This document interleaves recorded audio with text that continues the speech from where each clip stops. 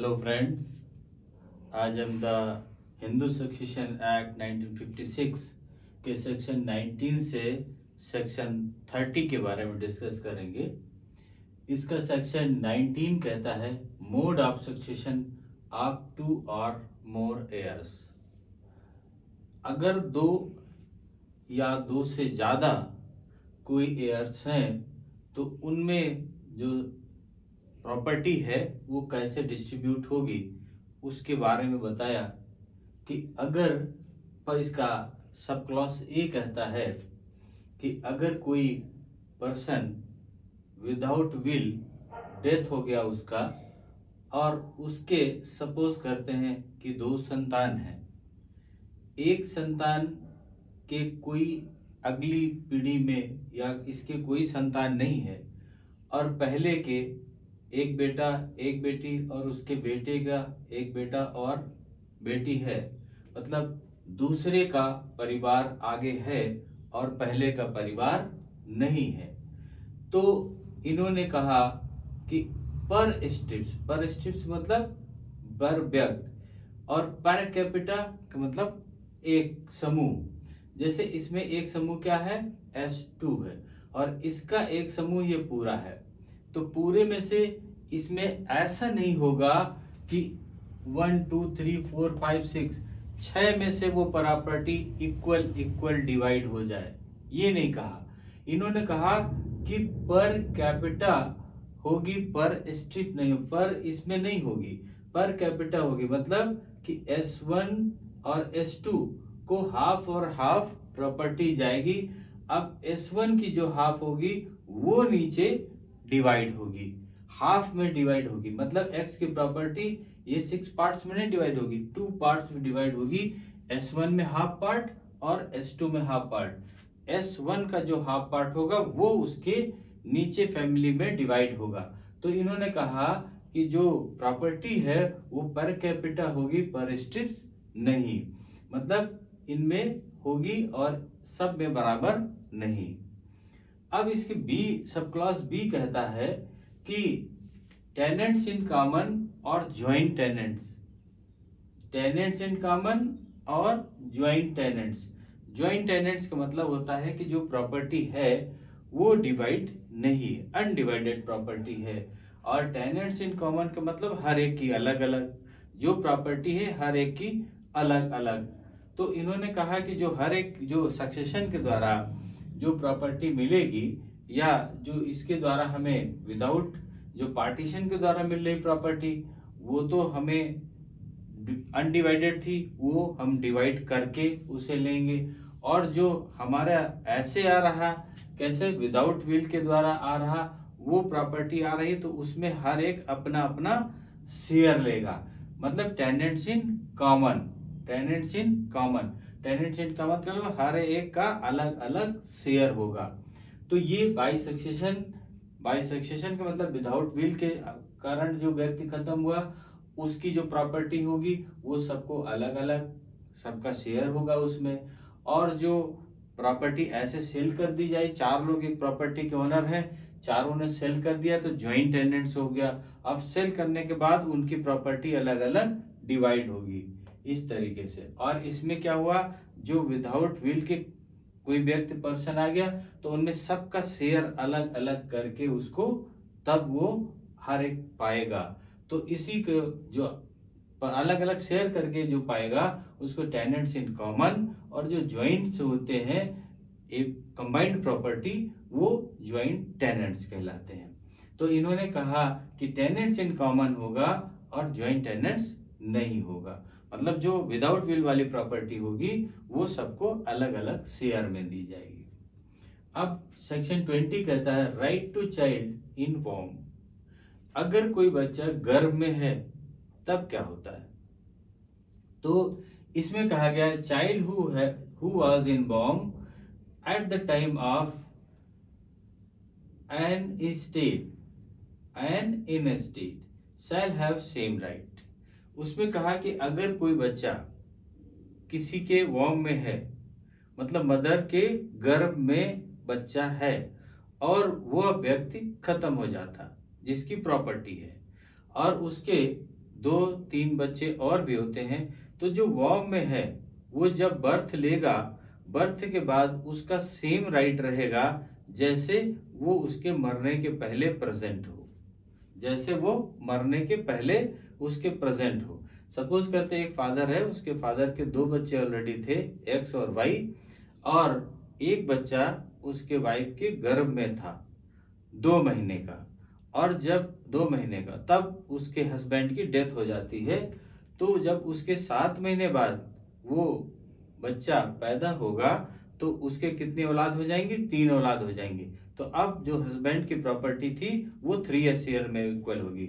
मतलब जो वॉम में था उसका भी उतना ही शेयर लगेगा जितना वो उसके होने पर ज़िंदा होता। अब इसका सेक्शन 21 कहता है कि presumption in cases of simultaneous death अब इसमें क्या कहा गया? If two dead in uncertain or certain then it presume that इसमें क्या कहा गया कि अगर दो व्यक्ति दो व्यक्ति खत्म हो जाते हैं। पता नहीं चलता है कि कैसे खत्म हुए, कब खत्म हुए। दो व्यक्ति खत्म हो जाते हैं, दो व्यक्ति सपोज़ करते गायब हो जाते घर से और कुछ समय बाद ये पता चलता कि दोनों का डेथ हो गया। अब उसमें ये नहीं पता चलता है कि पहले कौन खत्म हुआ और बाद में खत्म, कौन खत्म हुआ। तो इसमें कहा गया है कि उसको प्रज्यूम कर दिया जाएगा। प्रज्यूम किया जाएगा कि उन दोनों में से जो बड़ा होगा वो उसकी डेथ पहले हुई होगी और जो छोटा होगा, उसकी डेथ बाद में हुआ होगा। ऐसा इसमें प्रज्यूम करा जाएगा। ये सेक्शन 21 में कहा गया। अब इसका सेक्शन 22 क्या कहता है? Preferable preferential right to acquire property in certain cases कुछ विशिष्ट केसों में जो प्रॉपर्टी किसी अनवसीयती के कारण मिलती है तो उसके क्या रूल होंगे? इसका पहले कहता है any movable any immovable property of an intestate any business जब कोई व्यक्ति जो मर गया है, उसकी प्रॉपर्टी कौन सी प्रॉपर्टी इमूवेबल प्रॉपर्टी या उसका बिज़नेस जो उसके उत्तराधिकारियों को प्राप्त हो रहा है। तो इन्होंने कहा कि जो क्लास फ़र्स्ट में है। जो इसके शेड्यूल क्लास फ़र्स्ट में है, उनका पहला राइट होगा। उनका फ़र्स्ट राइट होगा। अगर वो उस प्रॉपर्टी को, सपोज़ करते तीन व्यक्ति हैं, तीन में से एक प्रॉपर्टी को सेल करना चाहता, उसको जब प्राप्त हो गई तो पहला राइट क्या है कि जो उसके दो लोग हैं, उसके परिवार के जो शेड्यूल फ़र्स्ट में है पहला राइट उनका है कि वो प्रॉपर्टी पहले उनको सेल करे। जब वो नहीं लेते हैं, तब वो अदर को सेल करे। तो इसी तरह के इसको ए बी सी डी चार लोग हैं जो किसी के डेथ के बाद में इनको प्रॉपर्टी मिलती है। तो ए सेल करना चाहता है उस प्रॉपर्टी को। ए प्रॉपर्टी को सेल करना चाहता है तो पहले वो प्रॉपर्टी किसको मिलेगी? बी को मिलेगी। अब जिम बी नहीं लेता है तो फिर किसको मिलेगी? सी को मिलेगी। अब सी नहीं लेता तो डी। उसके बाद वो आउटसाइड वालों को प्रॉपर्टी देगा।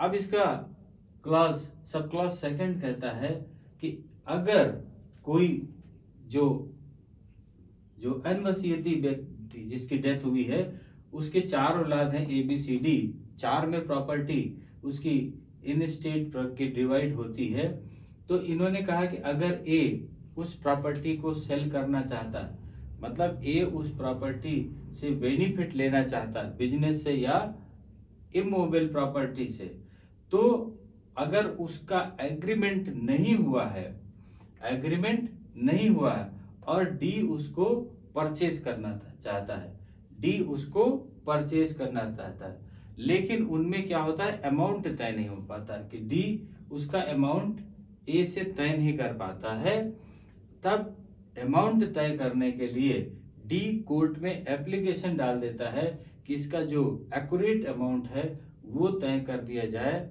और उस अमाउंट को मैं दे करके ए की प्रॉपर्टी ले लूँगा। क्योंकि ये क्या हो गए फ़र्स्ट शेड्यूल के लोग हो गए। फ़र्स्ट शेड्यूल का मतलब बी सी डी का राइट पहले बनता है लेने का। अब कोर्ट डिसाइड कर देती है। कोर्ट ऑर्डर कर देती है। लेकिन कोर्ट जो ऑर्डर करती है कि इतना अमाउंट ए को दे करके ए की प्रॉपर्टी या ए का बिज़नेस डी ले सकता है। अगर उस कोर्ट के ऑर्डर से, उस कोर्ट के ऑर्डर से डी सेटिस्फाइड नहीं होता है तो जितना उस मुकदमे में या उस एप्लीकेशन के कोर्ट में जाने में एक्सपेंस हुआ, खर्चा हुआ, वो टोटल का टोटल कौन बेयर करेगा? डी बेयर करेगा। वो टोटल डी खर्चा देगा, क्योंकि डी अपनी ज़रूरत के लिए कोर्ट में गया था ए की प्रॉपर्टी का या बिज़नेस का दाम तय करने के लिए। अब इसका क्लॉज सेकंड थर्ड कहता है कि अगर इन स्टेट प्रॉपर्टी के चार उत्तराधिकारी ए बी सी डी हैं और उनमें से ए प्रॉपर्टी को सेल करना चाहता है और उस प्रॉपर्टी को उसके परिवार के दो लोग लेना चाहते हैं, जो क्लास फ़र्स्ट शेड्यूल में है। बी और डी उस प्रॉपर्टी को लेना चाहता है। तो ये ज़रूरी नहीं कि उसके पहले कौन है, करीब में कौन है। बी तो पहले ए, बी को ही सेल करे। इन्होंने कहा कि जो प्रॉपर्टी का दाम बेहतर देगा, जो ज़्यादा प्रॉपर्टी का दाम देगा, ए उसको प्रॉपर्टी देगी, देगा। अगर डी ज़्यादा पैसा देता है बी कम पैसा देता है तो ए किसको प्रॉपर्टी देगा? डी को देगा। फिर बी को नहीं देगा।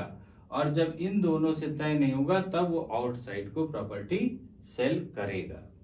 ये इसका क्लॉज थर्ड कहता है। अब इसका सेक्शन 23, 24 निश्चित कर दिए रिपेल्स कर दिए गए हैं हटा दिए गए। इसका सेक्शन 25 क्या कहता है? मर्डरर डिस्क्वालिफाइड मर्डरर डिस्क्वालिफाइड इसमें अगर हु कमिट्स मर्डर जिसने मर्डर किया है, और abets the abets the commission of murder for getting the property property प्राप्त करने के लिए उसने जान से मार दिया है या मारने का प्रयास किया है, तब वो प्रॉपर्टी के डिस्क्वालिफाइड हो गया। अब एक एग्ज़ाम्पल से समझ लेते हैं कि एक्स एक पर्सन है जिसकी प्रॉपर्टी है और उसके दो बेटे हैं ए और बी दो बेटे हैं। अब बी क्या करता है कि एक्स को मार देता है, जान से मार देता है या जान से मारने का प्रयास करता है ताकि एक्स की प्रॉपर्टी बी को शीघ्र मिल जाए। एक्स की प्रॉपर्टी बी को मिल जाए तो क्या होगा कि एक्स की प्रॉपर्टी अगर बी ऐसी कोई घटना करता है तो बी को वो प्रॉपर्टी नहीं हो, मिलेगी, वो डिसक्वालिफाइड हो जाएगा। अब इसका एक सेकंड एग्जांपल ले लेते हैं कि ए बी दोनों है। अब बी क्या करता है? ए क्या करता है कि बी को मार देता है। क्यों मारता है? कि अभी वो प्रॉपर्टी कितने में डिवाइड होगी? दो लोगों में डिवाइड होगी ए और बी में। इसलिए बी ए क्या करता है? बी को मार देता है ताकि वो प्रॉपर्टी टोटल का टोटल किसको मिल जाए? ए को प्रॉपर्टी मिल जाए। ए को वो प्रॉपर्टी मिल जाए। यह मार डालने का प्रयास करता है। तब ए क्या होगा? वो डिसक्वालिफाइड हो जाएगा उस प्रॉपर्टी से। ए को वो प्रॉपर्टी नहीं मिलेगी। एक सेक्शन 25 में कहा कि अगर कोई पर्सन उसकी प्रॉपर्टी पाने के लिए उसकी हत्या या हत्या करने का प्रयास करता है तो वो डिसक्वालिफाइड हो जाएगा। वो उसकी प्रॉपर्टी पाने का हकदार नहीं होगा। ये सेक्शन 25 में क्लियर कहा। अब सेक्शन 26 क्या कहता है? Converts descendants disqualified converts descendant disqualified by conversion to another religion जब कोई दूसरे धर्म में परिवर्तित हो जाता है, मुस्लिम में या अदर किसी रिलीजन रिलीजन में children born after such conversation the descendants shall be disqualified और उसके बाद उसके बच्चे पैदा होते हैं तो वो उस प्रॉपर्टी के हकदार नहीं होंगे। अब इसका एक एग्ज़ाम्पल से समझ लेते हैं। एक्स एक पर्सन है एक्स एक पर्सन है और उसकी वाइफ एक्स एक पर्सन है और उसकी वाइफ एक्स की प्रॉपर्टी है और एक्स और वाई एक्स और उसकी पत्नी. जब हिंदू थे, तब उनकी दो औलाद हुई एक्स एस वन और एस टू इसके बाद एक्स और उसकी पत्नी ने धर्म परिवर्तन कर लिया.